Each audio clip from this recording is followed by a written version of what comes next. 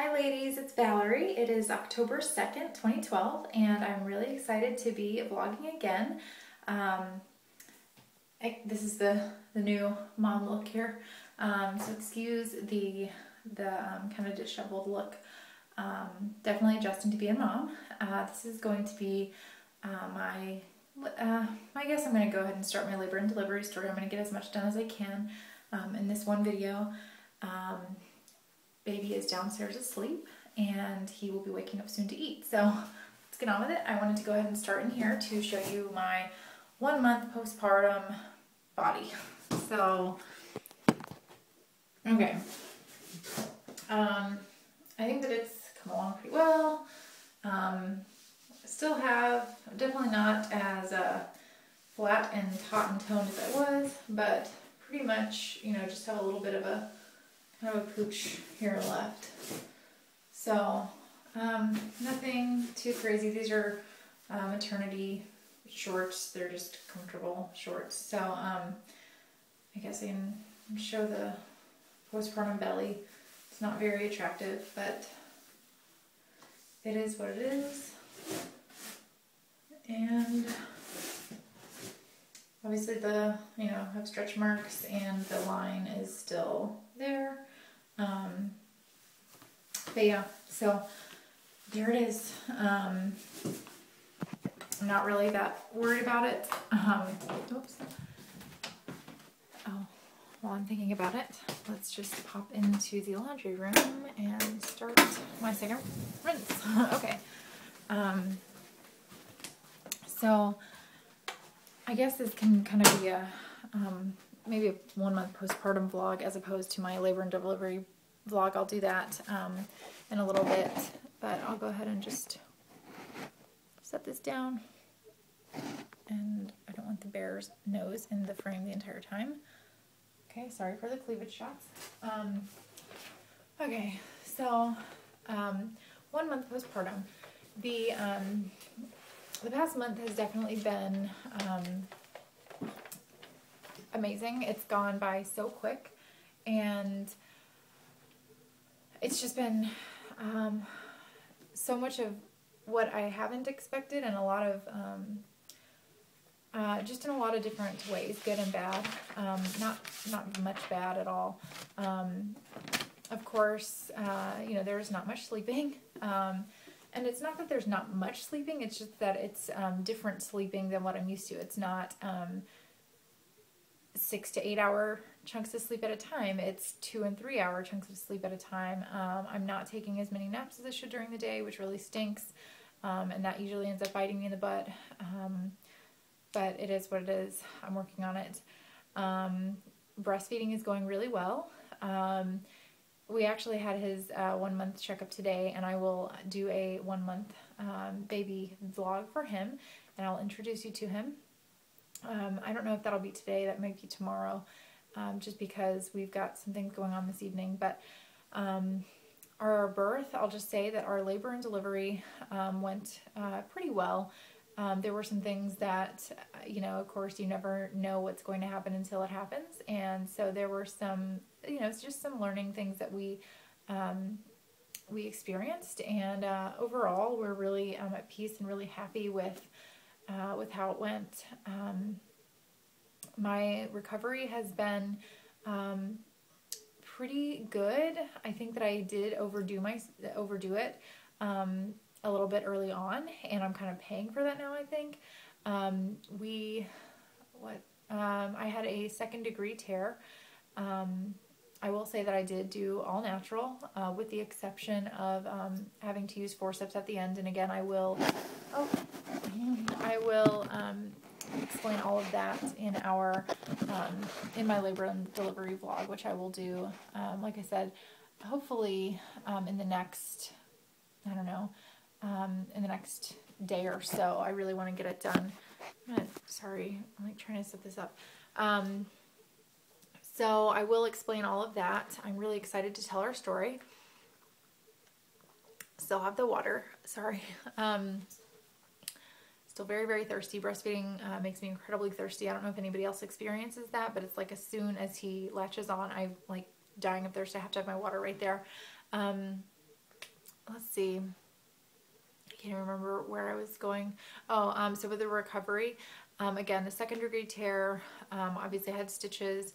Um, and the first, you know, uh, gosh, um, after the, the labor and delivery, I was really, really sore for um, a number of days, like so sore I couldn't lift uh, my legs um, very well because um, I did spend about six hours pushing and that's what led to the forceps delivery ultimately. Um, well, the assistance of the forceps. So again, I'll get into all of that, but it just is a part of the recovery and the postpartum as well. Um, so I started feeling better kind of after a week and then um, towards, I don't know, the beginning of last week, so maybe around um, three, I don't know, three, three and a half weeks, um, I st it started um, to act up again down there. So um, nothing crazy, just some discomfort. So I, it's been interesting. Um, I don't know really what I expected from recovering from giving birth, um, but I guess this just wasn't it. I, I guess, obviously, I, you know, never giving birth um, and being a relatively fit and healthy person, I guess I just assumed that afterward there would be like some discomfort and I would be good to go.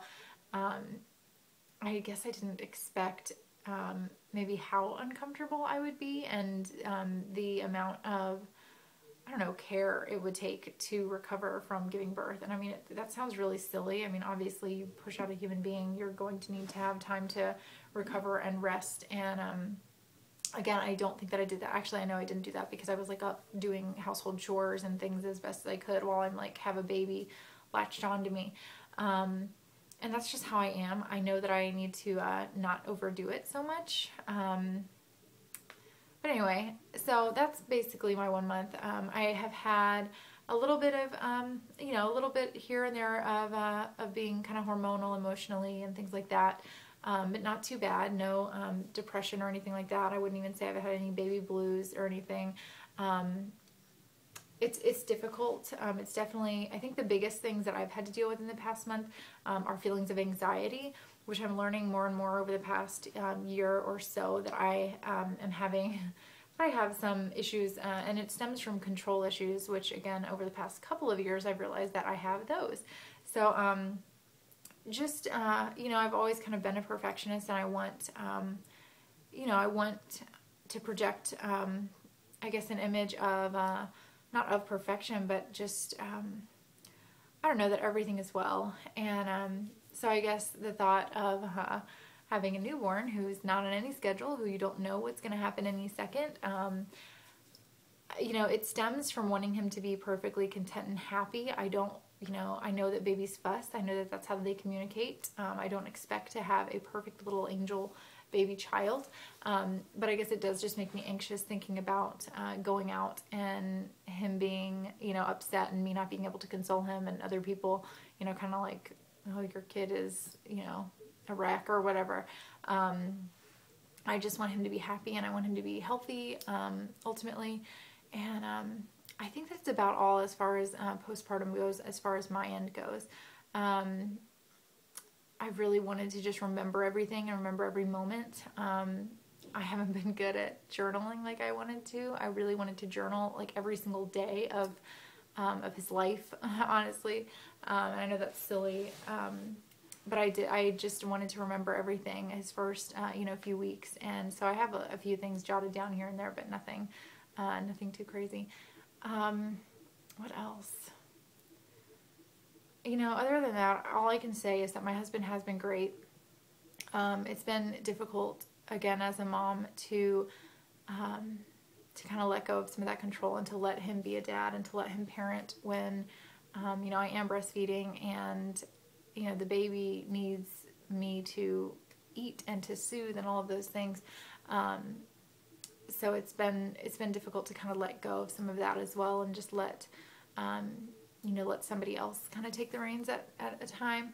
Um, and like I said, breastfeeding's going well. The beginning, um, everything was great. He breastfed right out of the womb, and um, he didn't have any sort of, um, you know, an, uh, anatomical issues as far as you know tongue ties or anything like that. And um, it was uh, it's been great. We I think that I, I attribute our success at breastfeeding um, definitely to our Bradley classes and the um, breastfeeding classes that we took and uh, just the knowledge that we gained from that.